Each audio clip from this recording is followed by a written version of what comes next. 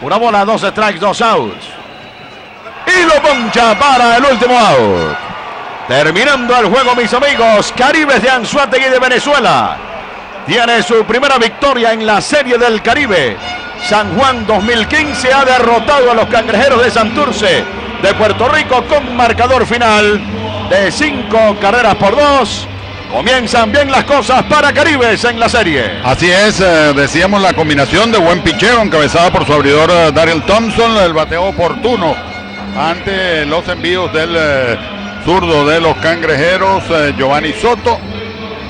Un triple de Alexia Marista y un doble de Newman Romero y una buena defensiva